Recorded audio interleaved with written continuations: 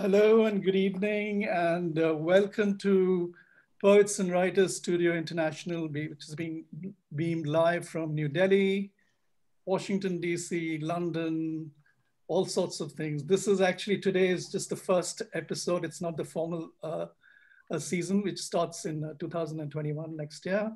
But this is essentially a relaunch of a very, very old Manhattan, New York series which I used to run in my flat. And I was, I think, just a student or just after Columbia. I had just one chair and one table. And uh, so then the chair became the sort of place where people would come and read. And it was the Indian style baithak reading because I didn't have enough furniture. So everybody sat on the floor. We used to pass the hat around. Everybody got paid. People just donated on the, you know, we bought two, I remember we bought two casks of, you know, those uh, cartons of cheap wine, red and white, which would, which would go very quickly. So we would minus that and the, divide the rest by three and give it to the readers. So whoever did well, whoever was popular got more earnings that day. It was like the hustings, really. So it's wonderful that, you know, and it's Indran and I we, uh, co-founded it. I was at Columbia University's form. It sort of happened very organically. And uh, here we are 30 years later. And it's so fantastic that, you know, seven or eight of us who were part of that original series, I even found that battered uh, poster which I put on, you know, which we used to actually put a stamp and mail it. was like a postcard and write a note and mail it to everybody. Pre pre fax days actually. Um, so there are seven or eight of us from those those days. I'm seeing you all for the first time, and as I said before we went live, everybody looks younger than even then and they're so superbly accomplished that it's annoying, you know, that in 30 years they've done so much. But Indran, do you want to say something? Well, yeah, we I mean, I think you've, I think you've got the, the, the key points to make uh, that we all look 30 years younger and, uh, and that we're reviving a series that uh, was very much a, a, home series that we set it up in Sudeep's apartment and, and, and yes, it was, it was a lovely uh, fall series. And I think we did two, two two two events, two groups of uh, two reading series. One, the poster is there. The other poster is is missing somewhere in in boxes from way back when. But we'll find that poster eventually. I hope. Um, wonderful to see all of you and to have so many from that series with us today. Um, I'm going to kick it off uh, with a poem, and then we'll go uh, from down the, the list of invitees and uh, uh, very excited, and we're looking forward to having you back and and uh, uh, checking in with the series, which will be happen once a month, um, starting in January. So more information to come. So cheers, everybody. Cheers. Let's cheers. I'm raising a cup of tea here in the morning of Washington. Um, and uh, I'll be on for about and listening in and joining in, but unfortunately I've must leave at the in one hour. So uh, if you find me at, not there at the end, it's not for lack of love, but but for some obligation here that I can't avoid. Um, the migrants reply. I'll read from my new book, the recent book, The Migrant States, which was just published here by Hanging Loose Press. This one's called The Migrants Reply. We have been running for so long. We're tired. We want to rest. We don't want to wake up tomorrow and pack our bags. We have gone 10,000 miles. We have boarded a rowboat, tugboat, bus, freight train. We have a cell phone and some bread. Our eyes are dry. Our breath needs washing. What next? You are putting up a wall on your southern flank. What an irony. The country that accepts refugees does not want us. We qualify. We have scars and our host governments hunted at least some of us. The rest fled in fear. Gangs do not spare even the children. White vans took away our uncles, our cousins. Do you think they've been made into plowshares? Aye, what are you saying? Too easy, too easy to wear our hearts in these words, in slings, on our faces, furrowed, perplexed. What happened to kindness to strangers? Why do we have to be herded like prisoners held in a holding camp? We are human beings, and like you, in safer countries, we have the same obligation to save ourselves and our children. Oh, the children, look at them. Give them food and school and a new set of clothes. Give them a chance. Whether you are red or blue, the eye of the hurricane does not discriminate. We are your tumbling weeds, hurling cars, flooding banks, and we are diggers of the dikes. We can teach you so many languages and visions. You would learn so much. You would never ever say, lock us up. Thank you. And now, thank you. I'd like to introduce dear young friend, Anya Achtenberg, who will read to us from her current abode in, in um, Ireland, in Galway. Um, Anya is a poet, a novelist, a teacher, and um, a translator and uh, she has traveled many worlds since uh, those days in New York. And uh, Anya, go ahead.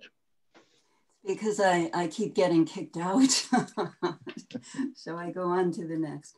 Um, thank you. I'm as nervous as I was 30 years ago. Um, anyway, um, this is, I'm going to read one poem um, called Curriculum Vitae for Coronavirus Employment or CV for CV. Um, what did she know? She knew how to be poor. She knew how to miss the one element she needed more than any other. When it was hard to get air, she could see it in the eyes. She was a test. What did she do? Any leadership qualities? She would surround the results with her arms, but she was not magic lock it with her body, but she was not medicine.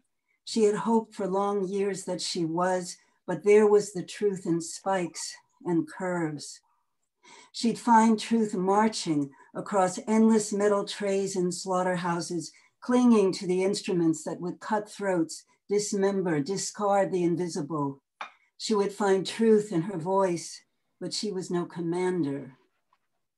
Real life application of her skills? That she knew how to be poor did not get anyone the air they needed. Men lay underneath blue armies of thugs gasping for it. Women ascended, lit up as threatened with fireballs consuming their elements.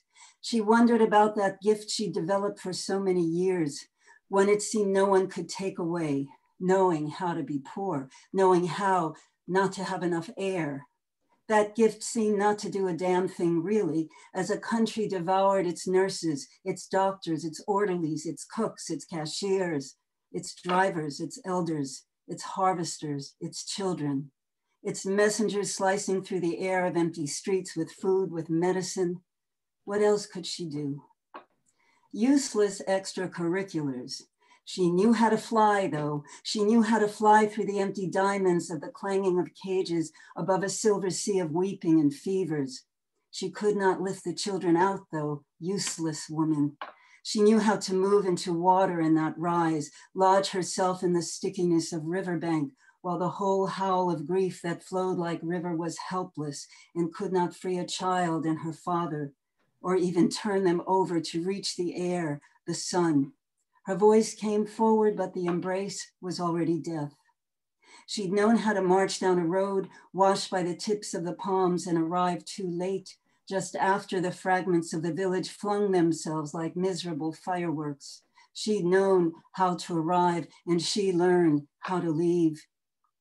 Unnecessary further education. The foul microbes of the past kept circulating, and all about her was the spread of the old hells, clearing their throats, practicing their speeches, spewing danger and manifestos. She knew how to grieve, but it was useless. She knew how to fear, but it was masked so that no one saw full on the terror that had borne her into this world. Living her purpose, also useless. These were her skills, but she will not be she. She will be the one who finally gets there on time, the one who, with her whole being, will pull one tiny moon of a child's nail out of the river to hang over us like the tap of a song. She would hold the one who will lose her skin as she runs down the road like a story, screaming for its echo to be drowned in no sad, bloody river, but in the eyes of the mirror that has finally been looked into under the tap of song and the blazing child, the mirror that will hurl lightning at even the thought of repeating what should never have once made nightmare from life. Really, any accomplishments? near the Golden Pier at the Windy Bay, where the people line up to fling themselves into the chill blue. She remembers having done something that made light. She remembers having even made song. She remembers having opened a door. She remembers that she is good as the world let her be. She remembers that she is better, better than permission. She remembers she is yet to die. She remembers that she is brave, that she is blazing, howling, brilliant gift who wants others to cherish their own. She remembers she is note in chorus, green plant, blood, root. She is ginger walking. She is gold of spice. She is voice that cries out. She is dance. No longer seeking employment. She is not death until she dies, and then after a moment, she is something else.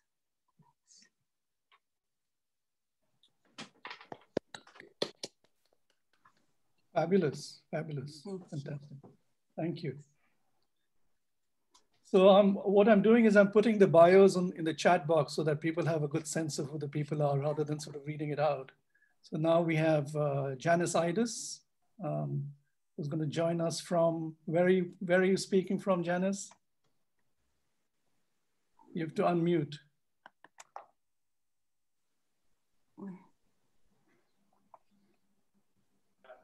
Yeah, my husband just came in and said, You're muted again. Um, so there you go. No, I live in the heart of Manhattan near Grand oh. Central Station. So that's okay. So next time we have a reunion reading, it'll be in your house. My house or the Algonquin if it's open. Oh, oh right. that sounds good. So welcome.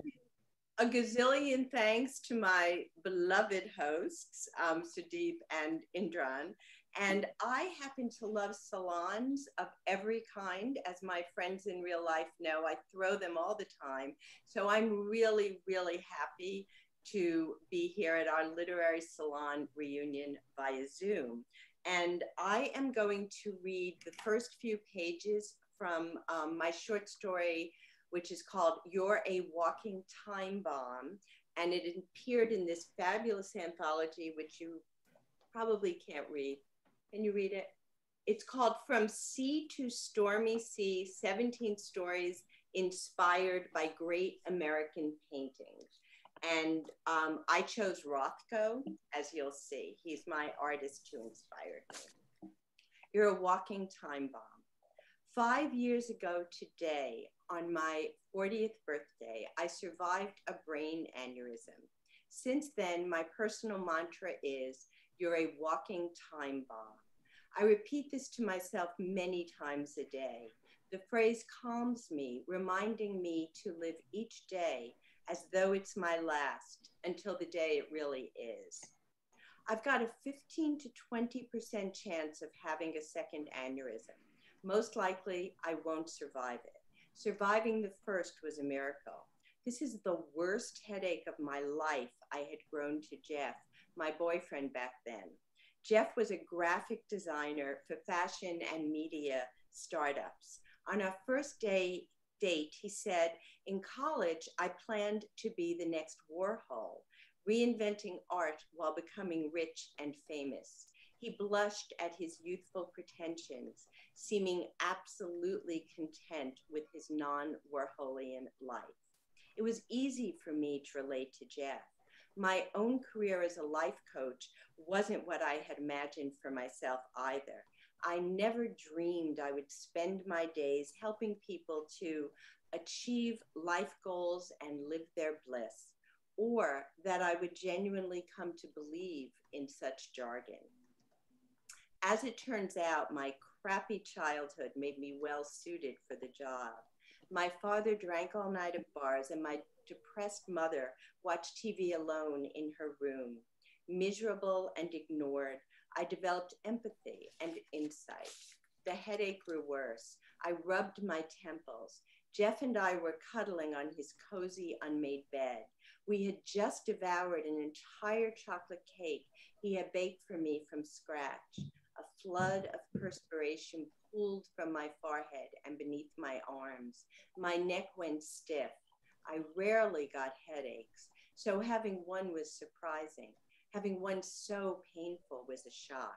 Jeff was a hypochondriac, which usually drove me crazy, but he did know all the bad things that could befall anyone at any time.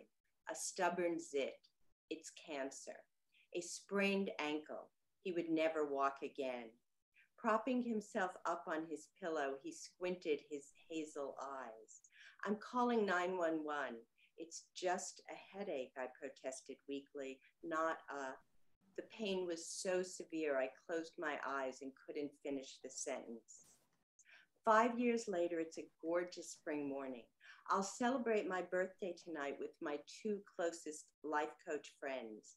We'll share techniques, how to ask problem solving questions, and affirming elusive dreams. Sunlight spills into my apartment as I await my first coachee of the day, coachee number one. Her name is Marissa, but I often think of my coachees by number. It helps me to maintain objectivity. As I always do before meeting with a coachee, I whisper aloud my mantra You're a walking time bomb.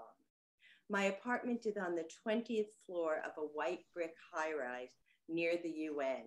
Prints by the late abstract expressionist Mark Rothko hang everywhere in my entryway, in my living room above the leather sofa where coachees sit, next to the bookcase that displays the latest books on life coaching, in my kitchen, bedroom, and on my bathroom walls. All the Rothkos contain blazing, luminous colors that glow from within, oranges, reds, yellows, violets, blues, greens, plums, ochres, blacks, magentas. Coachees sometimes remark on how pretty they are, but for me, they're ferocious. They snap, crackle, and pop like a bursting brain. So I will stop there, and uh, the rest of the story is in the anthology. Thank you, Janice, very, very Thank much. you. Thank you. And please, uh, um, on the chat box, that's a very active space. We are putting in uh, information about the books, our bios. Please feel free to just advertise uh, your new links and so on, because that's also part of the whole thing is to build a community and to read each other's work as much as we can, especially the entire thing is so transnational that it's hard to get hold of books very often. So this is a very good way of reading each other. So please do not be shy. I don't think anyone in this lot uh, shy lot. So, uh, so do that vociferously and actively. Uh, Tony, Thank you, Sudeep, for that, uh, because I wasn't shy. I just put up my the YouTube channel info up there for everyone to see. that's quite all right. So I think now we have Tony Eprile. Tony, are you there? Uh, yes, I'm here. Can you hear me? Yes, Tony, great. gosh. Sure. You're, you're perfectly symmetrical. You've got a halo of an umbrella behind you. Um, yeah, I'm actually in a yurt in Vermont. Uh, Oh my gosh. how can one get more Vermontish than that? So, And I think I think we met at Breadloaf Writers Conference. Is that correct? we did. And I think, uh, yeah, I, gosh, I didn't even think what year that was. Um, That, just- that was when I was when I was uh, you were about 10 years old, I believe. I was eight years old and you were five. Something So, uh, Welcome. It's lovely to see you again. you. Lovely And, to uh, see you. Of course, you were part of the original reading 30 years ago. Yeah, So it's great. and um, it's such a pleasure also to follow on on Janice and and all the wonderful readers. Uh, I see Alice is here who who read with me and uh, Geoffrey O'Brien, and it's just so terrific to see all of you um, and all looking so well and young and healthy. Um, I'm just going to read a short piece. Um, it's one that uh, was inspired by, um, some ways, by the South, Af- South Africa's Truth and Reconciliation Commission, um, which was definitely one of the great experiments, I think, of our time. And um, the uh, I overheard something uh, Archbishop Desmond Tutu said about how the interpreters, simultaneous interpreters for the uh, TRC, many of them had nervous breakdowns because they had to speak for the victims of violence and the perpetrators of violence in the first person. So that's the inspiration for this piece. It's called The Interpreter for the Tribunal. Interpreter for Amnesty applicant, Major J. Hertzbriek, Mr. L. M. Speak. Interpreter for witness, Mr. Y. Nkululeko, Mr. L. M. Speak. I was hiding in my friend's garage, a place no one would think to look. I had my informants, you see. We were boys together, and I knew he'd never betray me. I waited until the time they usually brought him food, and when he opened the door to my whistle, I was on him like a pack of wild dogs. He ground my face into the concrete, shouting horribly in my ear. The pain was terrible. I did not know what was happening. The trick is to disorient the prisoner right away, get him off guard, and he'll tell you anything you want to know. My arm was twisted behind my back and I could feel the ligaments tearing. I did not struggle, but he kept twisting. His knee, my knee, in his back, you bastard. You're done now, he screamed. I was thrust from the darkness into the light, then into the darkness again like a sack of potatoes. I threw him into the trunk of my car. I'm that strong. I could hear him thumping in the trunk as I drove and hit the brakes, taking the corners hard. I bashed my head against something hard and was thrown helplessly into the light of a 2000 candle power torch, right in the eyes, hitting him all the time, the fists coming from nowhere. And I felt a rib breaking, my nose breaking. The blood ran down his face and he didn't even lift a finger to wipe it off my glasses had come off. And when they got me and I had no idea where I was on the ground of that hut, and yes, I sat on his back and pulled the sack over his head, the wet sack, like I was drowning. I could not breathe. He could not breathe. I pulled it off now. You will tell me what I want to know because otherwise I could not breathe. I told him everything. It did not take long to get the names, my friends who betrayed me, the friends I did not know what I was saying, what he was saying. Those were hard times, and we had to be hard to live in them. I just wanted the pain to stop but I have to live with who I am now, who was I then. It is too terrible to speak of it at all, is to go mad.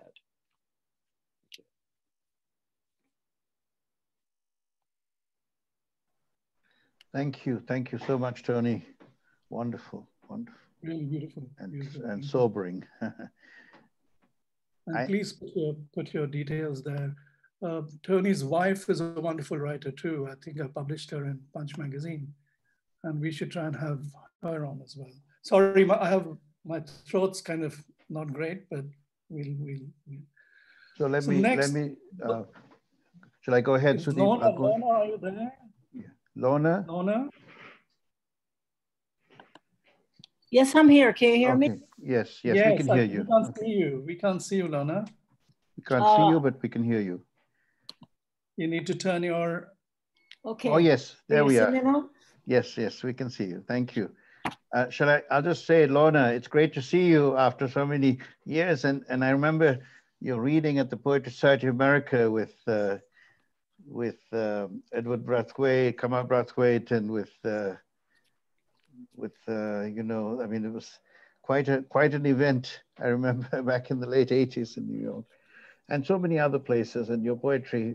Lorna Goodison from Jamaica, um, Sudeep, do you want to add any more? Otherwise, yes, no, no, thank you so much for coming on. This is the first time actually seeing you moving. I've only read your books and seen these fantastically glamorous picture, auto photographs. It's all doctored, all done with mirrors, lights. All done with mirrors. but Lorna, my God, what does what do we say? This, this, we, this we have a poet laureate in the house. So she was the poet laureate of Jamaica. She won the uh, Queen's uh, Gold Medal for Poetry in England. She won the, uh, the Windham-Campbell Prize. I wish you could donate half of it to me. I could use that money. Uh, she's just been so honored all over the world. I mean, you know, short of the Nobel Prize, I think she's got everything. Lorna, what a treat and pleasure to have you. Thank you so much. Good morning. It's very early morning here and um, good night, good afternoon. Hello, kisses. I am, am I to read a poem? Please, yes, or two poems as you wish. Yes, Go ahead. after the green gown of my mother gone down. August, her large heart slows down and then stops. Fall now and trees flame, catch a fire and riot.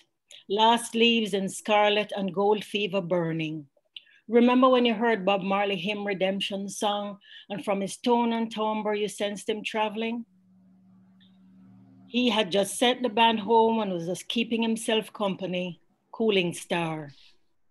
Sad rude boy fretting in a cowboy box guitar, in a studio with stray echo and wailing sound, lost singing, scatting through the door of no return.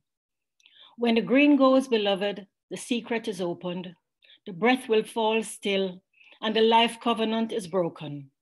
Dress my mother's cold body in a deep green gown, catch a fire and let fall and flame time come after the green gown of my mother gone down.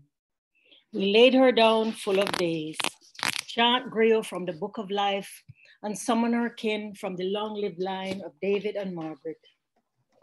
Come Cleodine, Albertha, Flavius, Edmund, Howard, and Rose, come and walk their Doris home. And the Blue Mountains will open to her and seal her corporeal self in. From that ancient vault, which is their lapis lazuli heart, the headwaters of all her rivers spring. Headwaters, wash away the embalmer's myrrh resin, the dredging of white powder caking her cold limbs, return her body clean to fallow the earth. For her eyes to become brown agate stones, from her forehead may they dawn bright mornings. May her white hair contribute to the massing of clouds, cause the blood settled into her palms to sink into fish-filled lagoons. Earth, she was a mother like you, who birthed and nursed her children.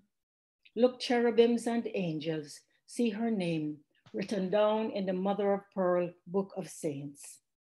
Mama, Aunt Anne says she saw Aunt Rose come out of an orchard red with ripe fruit and call out laughing to you, and that you scale the walls like two young girls, scampering barefoot among the lush fruit groves. My mother's sea shanty. I dream that I'm washing my mother's body in the night sea, and that she sings slow, and that she still breathes I see my sweet mother, a plump mermaid in my dreams, and I wash her white hair with ambergris and foaming seaweed.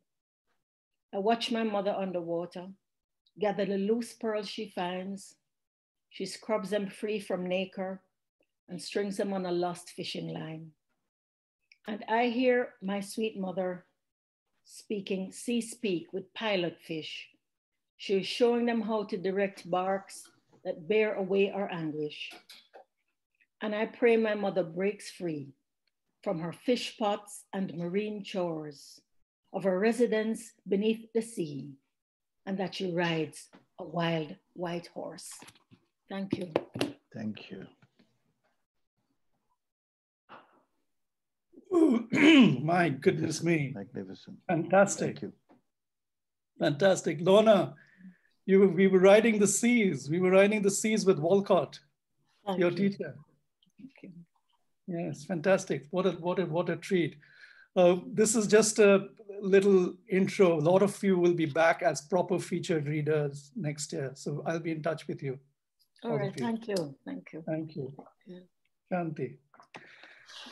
So now we have Prabhu Guptara, a writer, a poet, publisher, currently based in Cambridge. Um, old friend, um, lots of, you know, worker for humanity and so on and so forth. So Prabhu, you're on. I'm new to your group, uh, Sudeep, so um, I don't know most of you, but I'm happy to meet you. Uh, this poem is titled An Insouciant Youth Questions the Buddha. Uh, psyched out or extinguished, passed on or reborn were you, sir? Or did you find yourself awake? How do you rate the dividend now against the risks you took? Is any of us switched on, do you reckon, to what you were about? Did your enlightenment perhaps magnetize and pattern the random iron of old rebellion against our scriptures, priests, and God?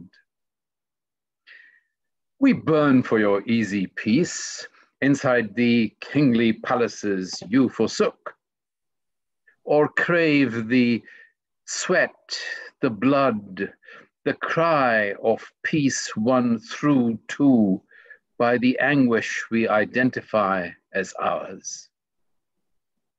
Are you a little weary now, sir, of that half smile you've sported these bitter years?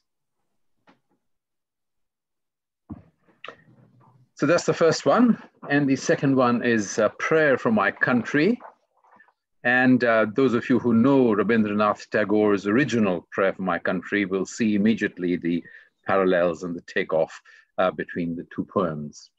Uh, it's titled Prayer for My Country by Mr. 56. And that is how the Indian Prime Minister, the macho Mr. Modi, is referred to, was referred to by his admirers when he stood, stood for his first term as Prime Minister. Uh, he drew attention to the size of his chest, implying a contrast between his strength and the implied unmanliness of his principal opponent.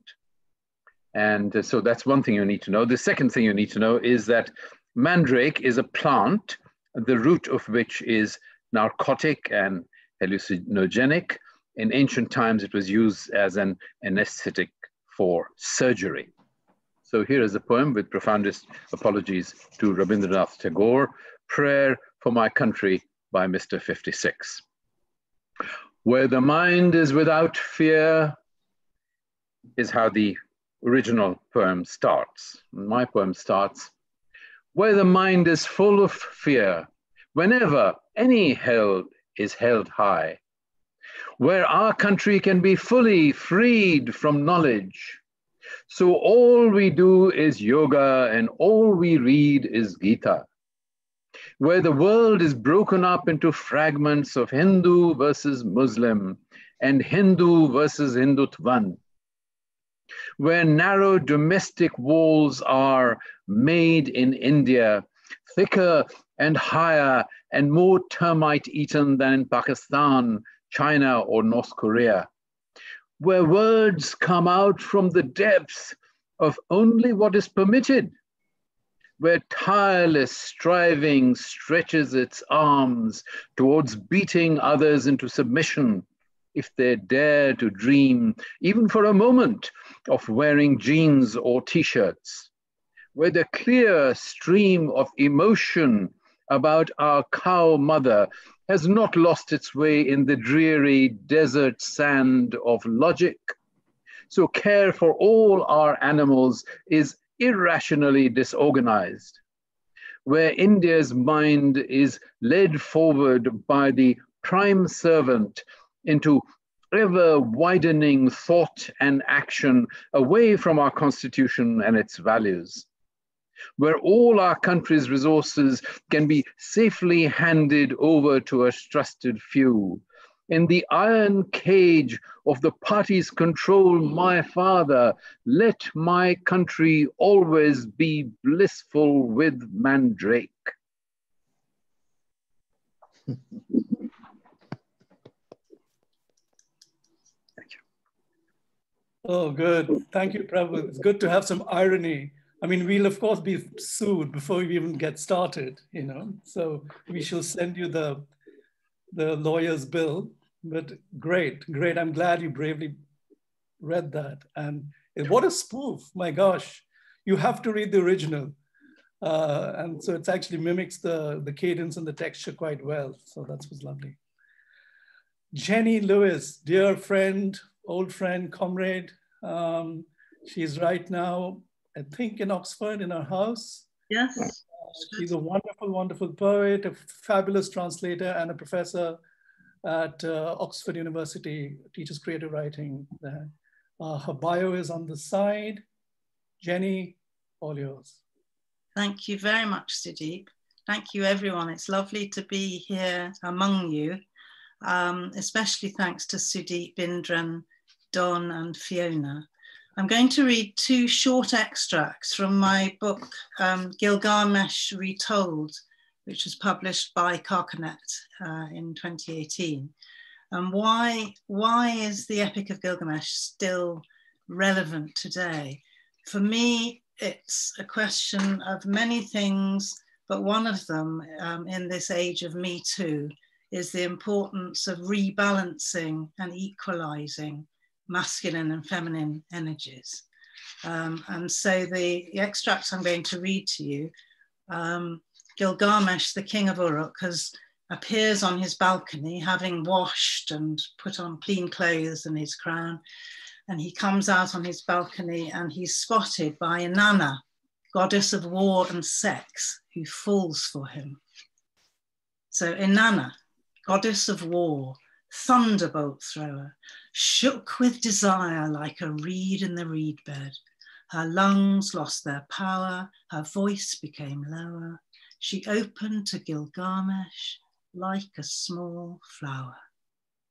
Come, love, into my sweet smelling chamber in a golden chariot studded with amber, drawn by a team of lions and mules, with bridles of silver and bolts of, of blue lapis. As you cross my threshold, my door will caress you. You'll conquer my court as you conquer my heart. Only come to me, Gilgamesh. We shall be wed. Lie close to me on my perfumed bed. Gilgamesh turned to look at Inanna. He looked through his lashes at holy Inanna. Then he said, You, who would marry you? You're a dog in the road crawling with fleas. You're a blade of frost scraping the ice, a broken door that lets the wind through, a cup that cuts the lip of the drinker, a shoe that bites the foot of the wearer. Not a good thing to say to a goddess. Um, and so enraged by Gilgamesh's insults, Inanna flies up to heaven to ask her father Anu uh, for the bull of heaven to destroy Gilgamesh with. And this is how she brings the bull of heaven down to earth. Inanna called the heavenly bull. Her words flew like a flock of birds. She called again, and it was night. And at his, her call, he came to her. Inanna led him down from heaven, where he grazed among the planets. Round his flanks light danced and spun, and he was made of stars and burning. His eyes were meteors, big as moons, his tail a trail of flaming comets, each tuft of hair a galaxy, each breath a moving constellation. When the skybull's hoof touched down, it smashed to dust the town of Girsu. when its second hoof touched down. It set eight miles of fields ablaze. When the bull's third hoof touched down, it opened up a nine mile crater. When the bull's fourth hoof touched down, 10,000 strong men toppled in. When he bowed his head to drink, in one great gulp, he drained Euphrates. When he raised his tail to piss, the Tigris rose and burst its banks. Thank you. it's a warning about annoying. Marvelous, marvelous. Thank you very much. You very much, thanks. Yeah, Jenny, do put the link of your book and show it to us again. Gilgamesh Retold, published by Carcanet Press, 2018. Thank you so much. Pleasure. And now we have Alice Lichtenstein, Lichtenstein, how do I? Lichtenstein. Lichtenstein. Yeah, great. Lichtenstein. Well, Alice also, Lichtenstein. Beautiful. I really, again, want to thank everyone and, of course, our wonderful host. This is just thrilling. And uh, that we're international just it just feels so important and kind of healing uh, coming from the United States and our nationalistic uh, uh, frame of mind these days. Not mine, of course. Um, I'm going to um, read just the very first uh, opening pages of my uh, relatively new novel, The Crime of Being, Upper Hand Press. And um, I always invite my, my listeners to close their eyes. And as I listen to prose with my eyes closed, if, if, if you start to snore, uh, actually everyone's on mute, so I will never, I will, I will never know. But uh, there we go. Okay, I'm going to try to get my online thing. Sorry for my technical issues. Okay. Um, I would like to read the, the epigraphs to the novel just because I love them so much. Uh, and the first is um, tell us what moves at the margin, what it is to have no home in this place, to be set adrift from the one you knew, what it is to live at the edge of towns that cannot bear your company. Toni Morrison. And the next, to insist on being who we are is a political act. Carl Phillips. So the novel um, chronicles the aftermath of a hate crime in a small town in upstate New York. And that's all you need to know. They have the day off from school. So they are hanging out in town park. He and Woody and Sam and Ryan, all his buds from track. When the Chevy rolls through the gate. The gate isn't really a gate. It's two stone pillars topped with nasty looking eagles wings spread, beaks open like they're about to grab something. The park is small with perfect grass, almost as perfect as the grass at the golf course where his dad works. It's the park where Gunther and his friends and most of the kids from the high school like to hang because it's perfect for cruising. An asphalt drive loops the center of the park, and exits through the same gate. Whenever someone drives through, everyone stops what they're doing, even if it's nothing, to check out who it is. When the Chevy pulls in, everybody looks, not just because the color of the pickup is so red, lipstick red, cherry red, and so shiny, the sun glinting off patches still slick from the self-wash, but because everybody knows whose truck it is, Sean Sr.'s, and who's driving it, Shawnee Petrushki.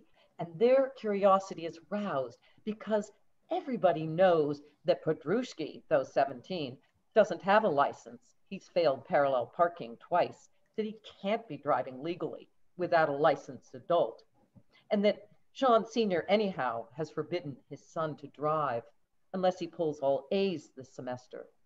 And so far, he's failing chem. That's how it is in this town. Everybody knows everybody's business. What car you drive and what grades you get are the least of it. Gunther and his friends get to their feet, begin to saunter toward the truck that's bucked a curb in a squealing stop across the grass from them.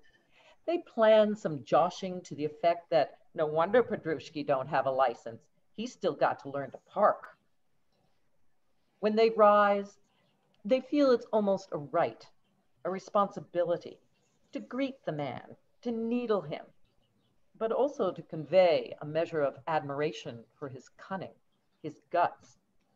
Swipe your dad's truck, wax it, drive it without a license in daylight. They are swaggering a bit, grinning, but a little nervous too.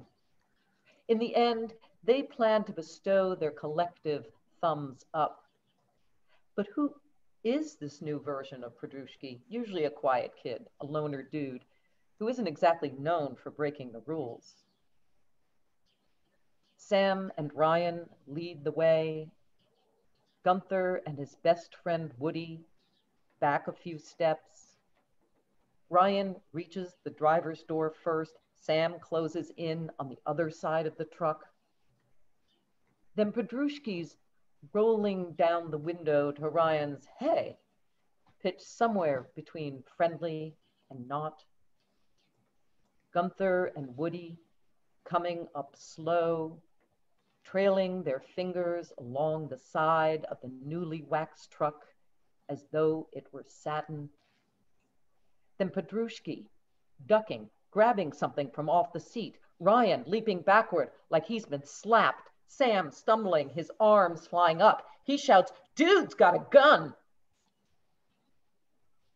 How does Gunther know to run? One look at Petrushki raising the 22 as he opens the driver's door, his eyeballs swimming into the crosshairs of the scope that's aimed right at him. And Gunther knows it's not show and tell. He knows he's going to die if he doesn't get moving.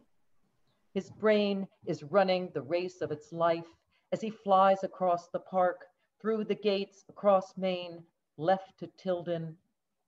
He's running for the safest cover he can think of, the police station, six blocks away, running until his feet go numb, running on nothing, his stomach kinked, his breathing hard. Right on his heels, Petrushki screaming, I'm gonna kill you! Cars squealing, people shouting. He gets a sense the world has pulled up, but he's still moving.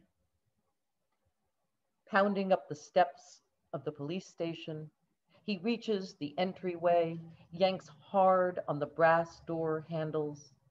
The doors don't budge. He yanks again, screaming, help!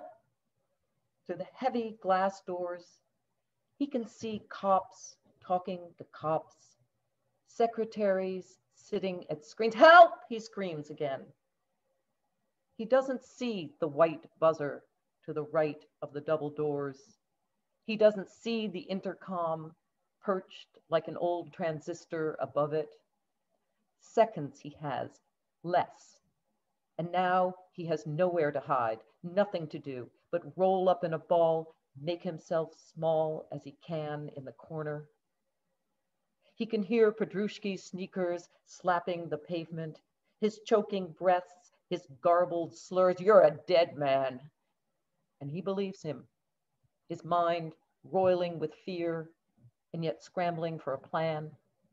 He raises his head, forces himself to look at the kid who's pointing the rifle right at him, so close he can taste the smell of metal in the roof of his mouth, can hear the click of the trigger as the barrel lifts, catching the light.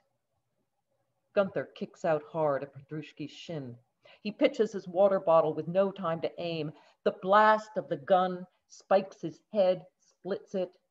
His left arm is on fire. That's it, he thinks. I'm dead.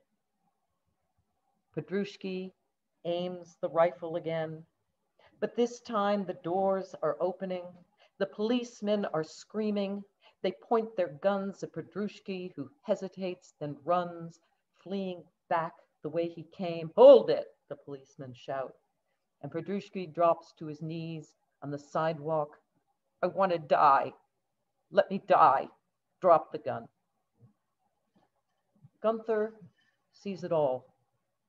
He sees Petrushki prop the 22 on the sidewalk, rest his throat on the tip of the barrel. No, the officers shout.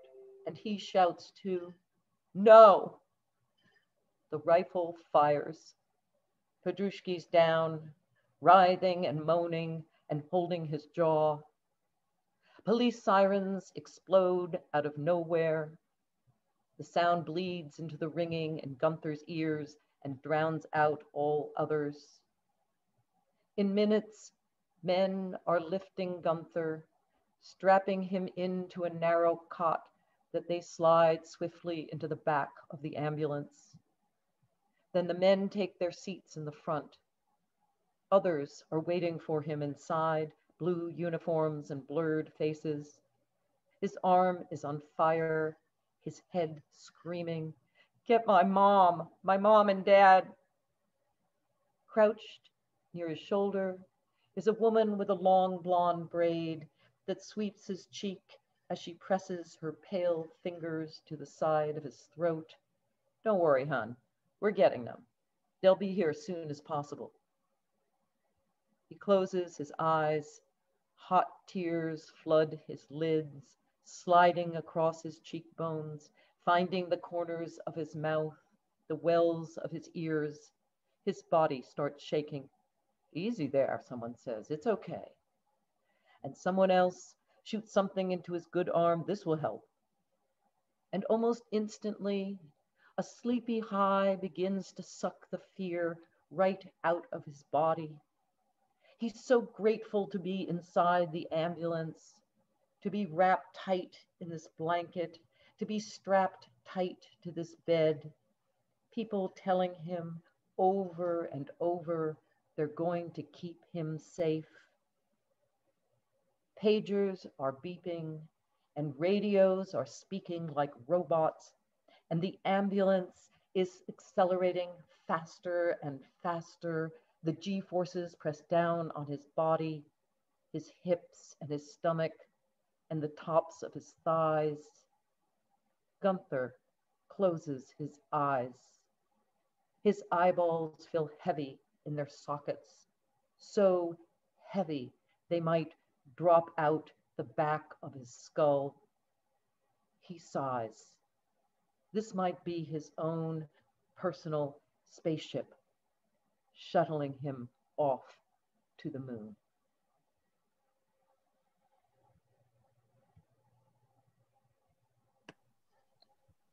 Thank you, Alice. Thank very, very much. Do put your details on the chat box. Yes. I will. Thank you. So now we have the king of the show, Don Krieger. Without Don, we can't do this. And he's a recent friend, but has become a very dear friend because he's been teaching me the wherewithal of Zoom and the technique of how to mute and unmute and all sorts of fabulous things. I feel like a little child. This is his new book. It's just come out. It's called Discovery. It's a really, really good book. It's uh, available online from CyberWit. I think Don will put on uh, the link. And um, it's amazing that he, you know, he he told me that he has a Zoom account. He says, you know, don't invest in a Zoom account because you know a lot of people say it's expensive. He says, I've invested in a Zoom account because I want to donate. This is my gift to the writers world. So she, he allows us to use his account anytime we want. Not just that, he's in fact just taken on the entire mantleship for you know, doing all the tech stuff, which is fantastic. But he's a really fine poet. That's what he really is. And his teacher was no less than Denise Levertov. Don, you're on. Thank you very much. I, I hope the sound quality is okay here. um, I was going to read something by Denise, but I, I think I'm going to read some of my own instead. This one was just nominated for a Pushcart. One in a thousand Black men in America can expect to be killed by police. Edwards et al., Proceedings of the National Academy of Science, 2019. I woke to the governor's stay at home order, drove the turnpike anyway. Each cop we passed, and there were many, I thought of my white Subaru and my skin like a thousand times before.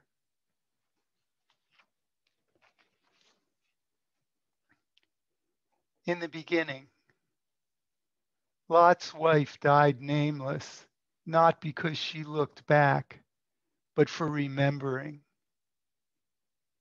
In a sweet vision, I lived naked small trees wide spaced, warm shade rich with apricots. a white beach in view, gentle surf, a dark squall rushing across the water. A walled colossus to the south, massive piers, men of all shades at labor. Oars and sails, slanted ships, long and low, bilgewater and shackles. Babel, the towers at city center in flames, smoke and harbor stench, billowing silver in the sun.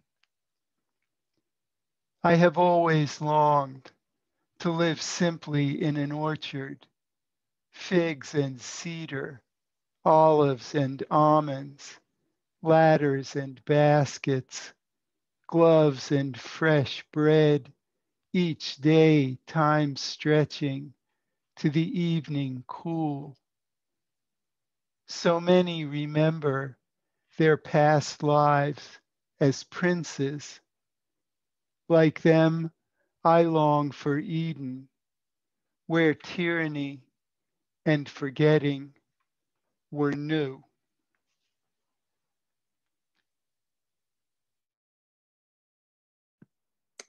Beautiful, Don. Thank you so much. Thank you very much. Do we have time for Denise's poem? Yeah, is it? Would you like to read Denise's? Of course. Go, go ahead.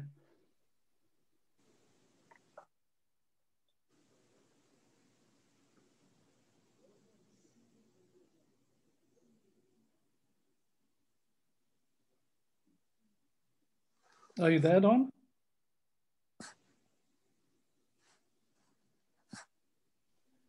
Hold for a second. Let me let me bring it up then.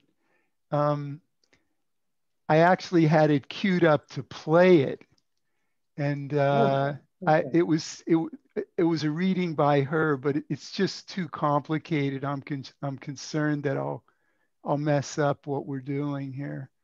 Um, it'll take just a moment for me to get it.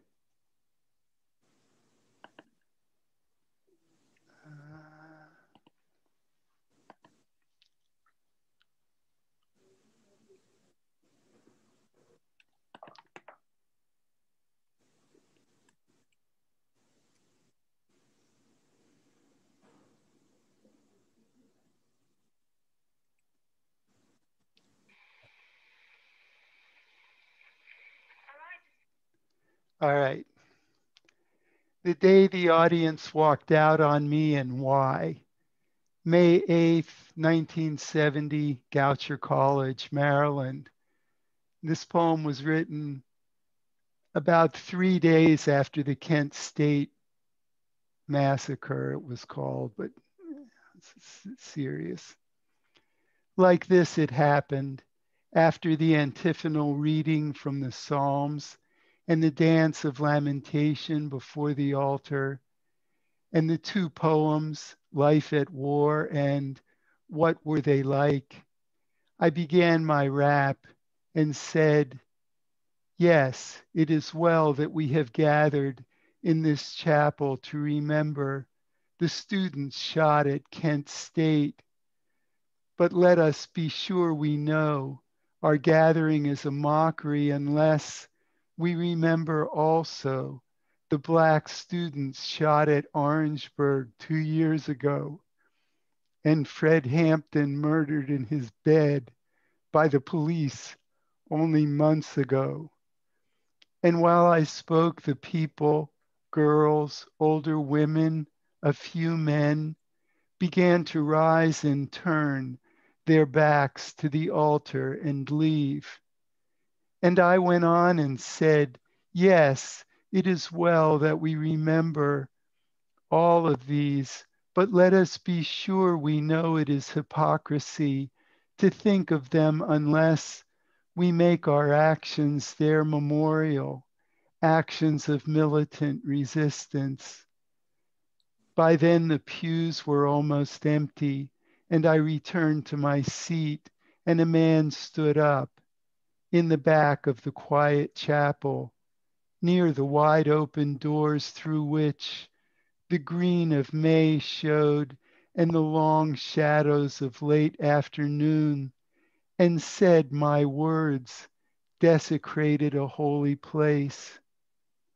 And a few days later, when some more students, black, were shot at Jackson, Mississippi, no one de desecrated the white folks' chapel because no memorial service was held.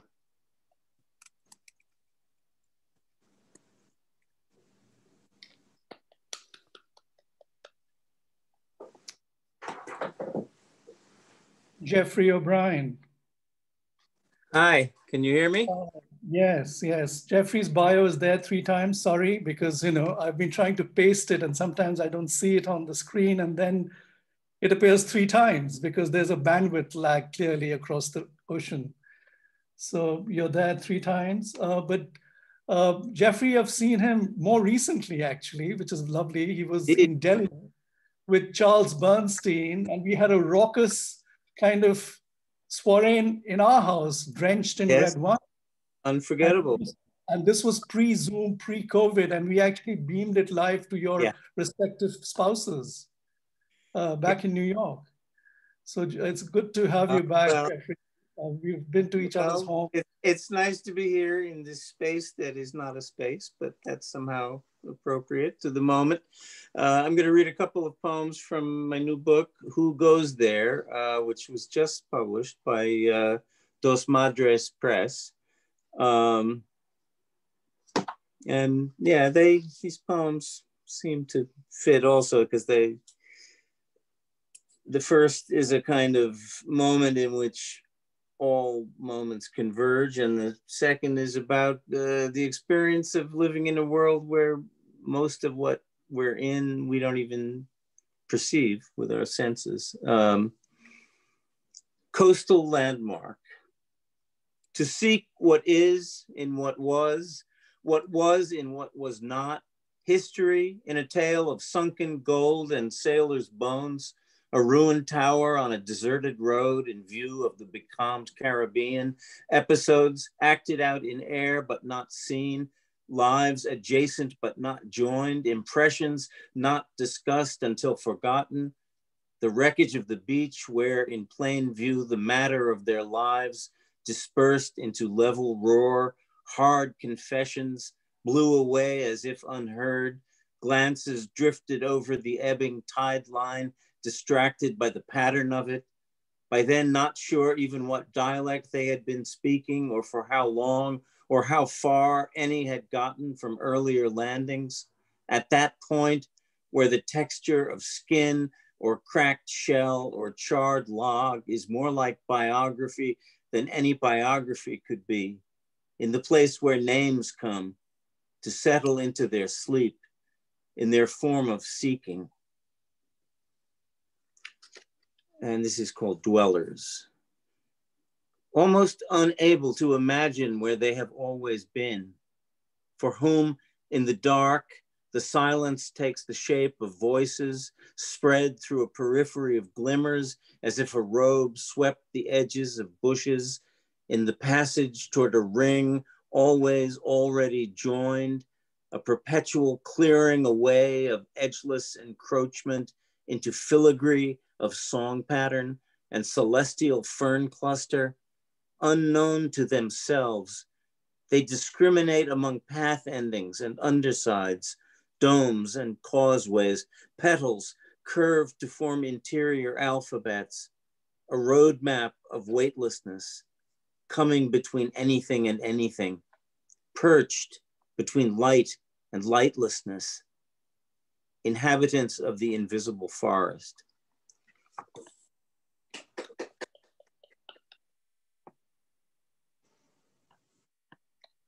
Thank you, Geoffrey. Do show us your book. And, Can I be seen? Okay. Yep. Do put, do put the link of that so we can get hold of it. Sure thing. Geoffrey Philp. Geoffrey, my man. Can you hear me?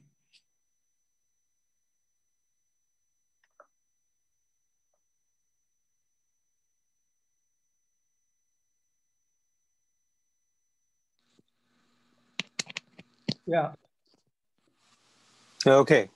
Can you hear me now? Okay. Yeah, perfect. Welcome. Wonderful. From Thank you so much. from the Paradise Island of Jamaica. Thank you so much. It's it's such a treat uh, to be here with with these wonderful, wonderful poets and writers, uh, and especially to see Lorna again after after so many years. It's it's a good feeling. I hope I hope if Lorna is is is still with us, that uh, she will let us know that uh, her sister Barbara is is in my thoughts and in my prayers, and this is no idle thoughts and prayers uh, saying. Um, both of you, your your your your your entire family means a lot to me. So um, pass on my blessings, prayers, I'm going to read two poems uh, America 2020 and um, A Virtual Thanksgiving. So let me begin. America 2020. America, you've lost your way. You've believed in your innocence for so long. You've betrayed your promises on parchment, trapped children in cages, robbed fatherless children and widows of their birthright. And while the earth, oceans churn towards a slow boil, and a virus holds us hostage in our homes, you've allowed gangsters to prey on families seeking asylum from thugs in Honduras, El Salvador, and Guatemala. And you'd rather die than give up your privilege to hunt Black men you think have become too uppity. Yet, despite the millions lost in the Maafa, massacres in East St. Louis, Tulsa, Rosewood, the destruction of Overtown and poisoning of Flint. We are marking stones where our martyrs have fallen, taking note of your crimes that fester, like scraps of chicken and lamb, desperate offerings to the saints for justice, littering the steps of the courthouse in Miami, where a wake of turkey buzzards return to their roosts, atop skyscrapers every winter, their wings darkening the skies. A virtual Thanksgiving. Inside the local supermarket, open for last minute shoppers, nurses, cashiers, waiters, frontline workers who can't afford a day off. I lost track of time as I hurried through aisles laden with sweet potato pies, candied yams, and cranberry tarts, in search of painkillers to, to relieve my migraines that have flared since the virus crept into our lives. And I glimpsed a cornucopia, like the one I'd seen with my mother on our first Thanksgiving, when I confessed I couldn't enjoy a holiday that celebrated co colonizers who repaid Native Americans hospitality by beheading the Massasoit's son, or how undercover agents had spurred sufferers in Jamaica who had borne the insults of empire to unleash anarchy on the streets, murder on the beaches, and grocers married a pound of flour to a box of Tide as she stared at the horn filled with plums, pears, and pomegranates spilling over the rim. Tears rolled down my mother's cheek when she remembered the empty shells she'd left the year before, when she'd promised to send for my sister and me. Yet she listened patiently and said, I hope you won't become a man who measures his life by hard times, by grief that hides in our closets, lingering in the corners of our rooms, that catches us unaware while we wash the dishes or gaze through a window, ready at first light to plunge into traffic and the busyness of pay- paperwork and bills. I am grateful that my mother left the bustle of Montego Bay to live in a village in Westmoreland with my father, who sold his last cow so that I could attend school in Kingston where you met your where I met your father. And that today, even if it's only the three of us, we can share a meal. While I waited in checkout with the other masked customers, my phone buzzed with a text from my wife. I was late for the family meeting. My headache could wait. I left the bottle on the counter and headed home to raise my glass with my sister in Orlando, my children in Georgia and Miami, each on a private screen. For although we would celebrate a virtual Thanksgiving, in this year when so many chairs are missing at our tables, it is sufficient grace. Thank you. Oh, wonderful, wonderful. But it's also not fair, Geoffrey. You're bringing all the mangoes and yam and the tropical stuff. It's my part of the country. Wonderful. Wonderful. As if I'm back in St. Lucia with a mentor. yes, yes. Wonderful, man. Wonderful, Fiona. Fiona, Fiona, Fiona. So it's next up is Fiona Sampson, again, an old friend, colleague. And um, we are co-hosting and co-curating Conclave, which is very similar to the, this, but it's completely independent and separate and quite different in nature, actually. um, um, but we will have different. but we will have a launch party on the same forum on the 15th of uh, December to get it going. And then the season starts next year and there'll be more details. I've put Fiona's um, bio on the chat. Fiona? I'm holding out my book cover. Yes, come down. It's a beautiful, beautiful book. Yes, thank you. Fiona, you're on. Thank you, Sudeep. Thank you, Indran. Thank you, Don. Thank you, everybody. What an amazing, well, it's afternoon for me. Um, what an amazing afternoon. I thought I'd read the first two poems in this book. The first one is Death. Death. Are you listening? You are listening to the world you think, but you hear yourself over and over the dark tongue of world, its hidden places, under trees beyond the lights. Darkness falling from your feet so deep you could fall through it forever and how loud world is with night in the trees like a roost of galahs rising, the dark tongue of world rising up through you as you fall, dear self, dear lonely self, falling, silently mouthing through sound. Woo. And um, Lady of the Sea which is about uh, the Black Madonna in Rocamadour, not in um, Ohrid. Lady of the Sea. Blue and black, the Virgin sits in her high palanquin. She does not regard us. Her regard is drawn back from us, far back, among the centuries where she comes from and where she is going. Already she is traveling past us and away, ancient star, flying so slowly we do not see her move. Suppose she, compassionate, uncoiled her serpent's arms or let that black mask fall. Could she move among us then? Or what would be broken and fired again? What understanding newly perfected.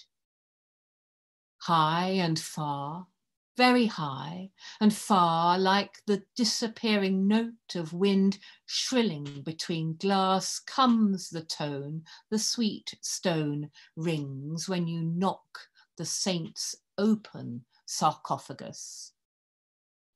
Lady, in your ark of rock, you who wear the white stone as a wedding gown, lady adamant and personal, we carry you in the eyes reliquary like a moat or like a beam that drowning we could cling to Lady, stronger than time, stronger than light. We see you invisible and everywhere. Thanks.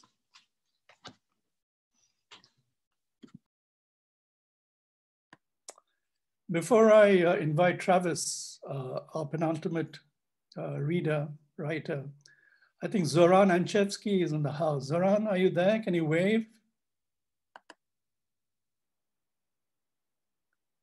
Zoran?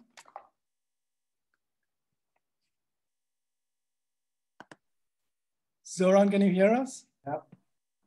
Okay, yeah. Zoran. Hello, everybody. Yes. Yes, you'll be on. You, you, will be on uh, on the December fifteenth leg. Yeah, yeah. yeah. Thank I you was for curious to see who's reading tonight, so I joined in. Yes. So Zoran Anchevsky was a very, very fine Macedonian poet and translator, one of the leading translators of the, the Balkans, and a really fantastic poet. Uh, he also directed the, the famous Struga poetry evenings for many, many years. So he is one of the beacons and anchor of the Balkan poetry scene. Oh because of him, the wars have stopped. So Travis, you're on. I've put your um, bio there. And Travis joins us from St. Lucia, a, a, country I'm very fond of. It's wonderful that to see that there's Jamaica and St. Lucia, two, two places I've been to and stayed. Um, Travis, all yours. Send us a ticket to visit you. Thank you very much, sweet. Thank you very much. Really good to see you again. Really honored to be part of this gathering of, of fantastic people. I've been enjoying the reading. Um, yes, so I am I am happy to be uh, representing the Caribbean. I, I, I am from St. Lucia, and thanks to Derek Walcott, all poets know St. Lucia. But I live and work in Trinidad at the moment. Um, so yeah, so this is the Caribbean for you. The first piece I'd like to do, both pieces are uh, from an uh, extract from um, the Creole Country. That is my forthcoming um, book length poem. Um, so I'm going to do a, the first piece, which is an extract that focuses on the jazz festival that we used to have in St. Lucia, where we had a really nice session that used to happen on the, the, the square. It's now called the Derek Walcott Square, but it used to be Columbus Square in the center of Castries, where all the school children would come and the bands would play. And that is the first piece. And the next piece will be dedicated to a good drummer friend of mine, a local folk drummer. And um, so I'm going to do this first two pieces, this, these two pieces. So let's go along with the first piece. Right, very good. Extract from Creole Country.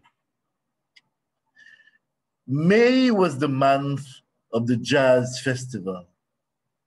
A river of visitors, it seemed, flowed to jazz on the square. You could hear from as far as the market, faces glowed like the sound of steel in sunlight. One school after the next, students in uniforms lined the length of the lane before they stroll past the cathedral, stepping to the drums of diamond steel. Boys in blue shirts, black pants, trained in ritual, walked in the order as though to confession, holding runs, obedient, standing shoulder to shoulder. Boys from the St. Aloysius. The girls blue overalls, bodices white the lack of sin. Ordinary children, straight, structured as edifices until they reached the Derek Walcott Square. Of course, until they feel the muse that is their own, the square. My memory finds it there, always, right in the center of Castries. As a boy, we went to Astor Square. That was years ago, before cock had teeth, they say. Then the square was named after Columbus. And December 12th was Discovery Day. Columbus Square, it was then. What a tale. Everybody knows the story by now. Tell it again, and it might fall down stale. I'll tell it quickly if you will allow. When Columbus came, he found the Indians, Amerindians, kind to him, welcomed him on shore and brought him gifts. How he discovered hair is just a whim, some other muse. But I practice this riff's duty daily. I'm finding the tune, fine tuning the tools to scratch out a sketch like old man Scrub who bangs on his tin atop Conway religiously, a wretch who might think if by chance you'd observe him bareback, two drumsticks tucked in the back of his pants tight, held at seams for reserve or to keep his pants from falling. Behind the shack next to him was the panyard, where the pans rang in derision, panmen slightly bent over, keenly, Scrub listened as the cans glistened on the fluorescent and wrists went frantic, rolling the sticks with their rubber ends on steel. That is how it all began. Drumsticks on steel, a man with vigor, hauling hollow oil drums, and the woman not too far, their face raw as the muscle pounding and sweating at steel for a note to come home. Rings of truth through the hassle, massive music, music making, moving remote ends of slums onto the city center. Music must be heard. People must be seen. People must be heard. Who? Doesn't matter. Just think of what those people have been through. The four parents of those knocking at steel and those younger ones going down to the square. Now theirs, now the Derek Walcott Square after the poet, after he who painted the island in words for mankind to marvel at her beauty, her history. All right, thanks. Well, that was the first extract. Uh, the next extract now would, would be the one dedicated uh, to this folk drummer friend of mine, young drummer um, called Javon Regis, who plays with a popular folk band and go around. They go around, particularly towards the end of the year, like this time, well, before COVID, and, and entertaining people with the various um, drum um, performances. Yeah. All right, good. So here we go with the second extract. Asite and Palaman decided to form a band. Asite on drum, Palaman on Quattro. But it wasn't complete so.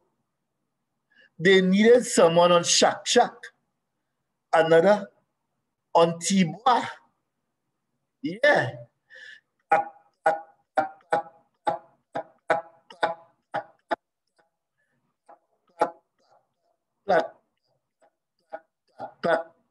Too many, too many. Asite thought of the money. Palaman watched him funny for he wanted to bring in a Baha for bass. Asite said awa in protest. He would play bass on the drum, so he set up his face. Palaman gave in and they started the band.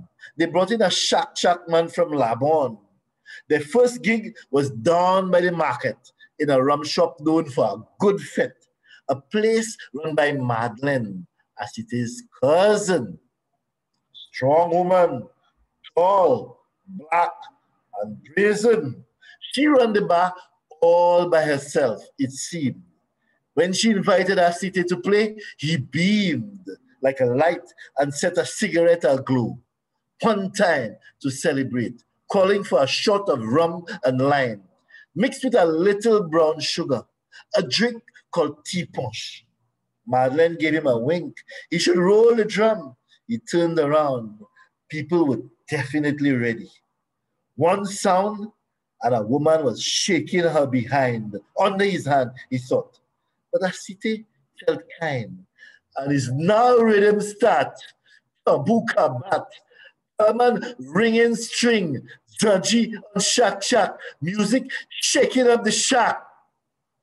Upa boka, upa wape, Hupa magoma. Puchu katombe midi Mwedi upa zaboka Hupa wape Hupa magoma. Puchu katombe bidi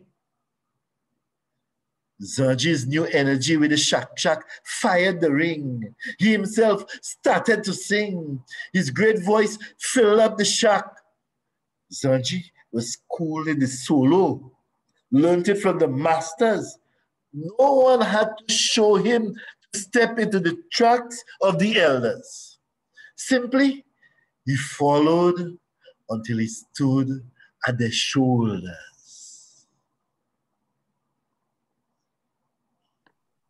Bravo, bravo. Thank you. Thank you for the music, man. Thanks. Yeah. You should start a reggae, reggae, reggae after party now.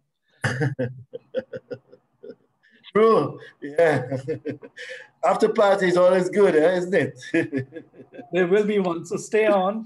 Don right. will be, after I read my poem, uh, Don will be doing the formal outro. So there'll be a sequence so that that's where we go off recording, off live. But all of us who are in the chat room can stay on and chat because we haven't met up for a long time. But really, thank you, all of you. It's been such a treat, such a pleasure. Uh, thank you, Don, for uh, anchoring it, Indran, Fiona, my uh, co-host for the next uh, session.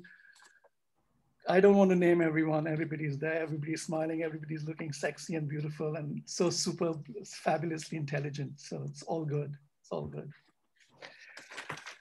Um, I'll read a newish poem called Disembodied. I wrote it about a year or so ago, um, and it's partly to do with climate change. It's located very much in Delhi.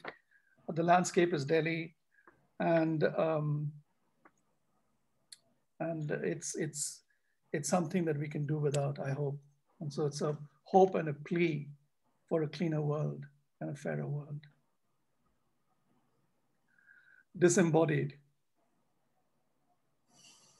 My body carved from abandoned bricks of a ruined temple, from minaret shards of an old mosque, from slate remnants of a medieval church apse, from soil tilled by my ancestors. My bones don't fit together correctly as they should. The searing ultraviolet light from aurora borealis patches and edge corrects my orientation. Magnetic pulses prove potent. My flesh sculpted from fruits of the tropics, blood from coconut water, my lungs fueled by Delhi's insidious toxic air, echo asthmatic sounds, a new vinyl dub remix.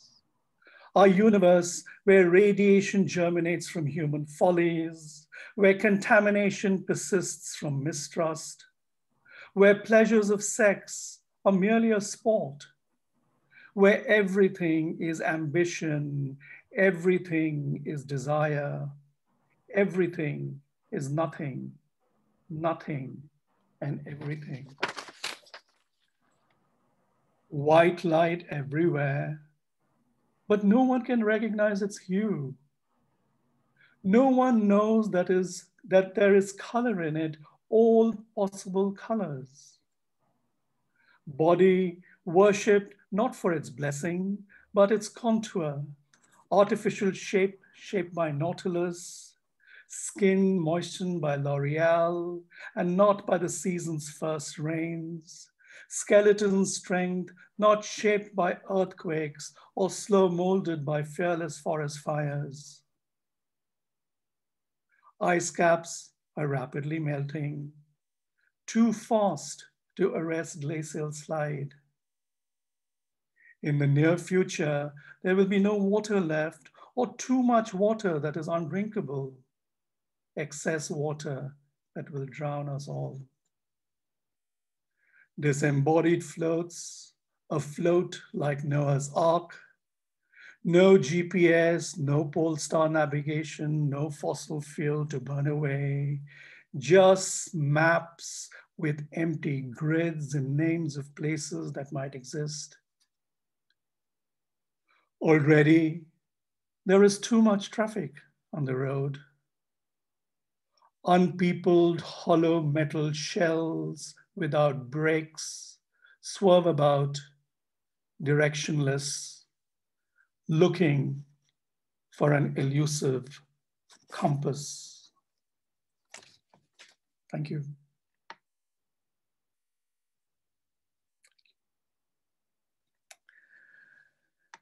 So Don, we can, so really, thank you so much. And uh, there'll be um, lots of this through the year. Uh, many of you will come back as um,